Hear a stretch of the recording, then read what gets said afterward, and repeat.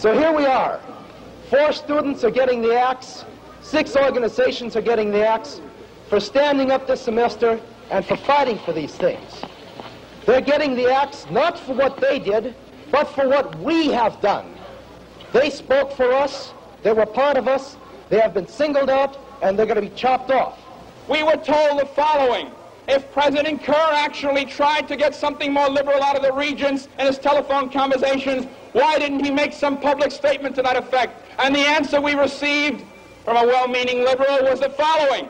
He said, would you ever imagine the manager of a firm making a statement publicly in opposition to his board of directors? That's the answer.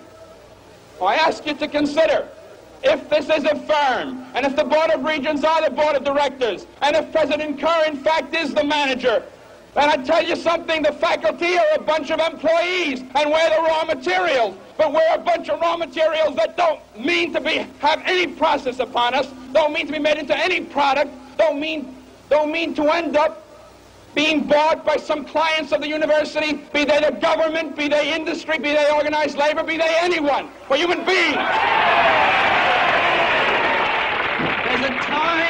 When the operation of the machine becomes so odious, makes you so sick at heart that you can't take part. You can't even passively take part.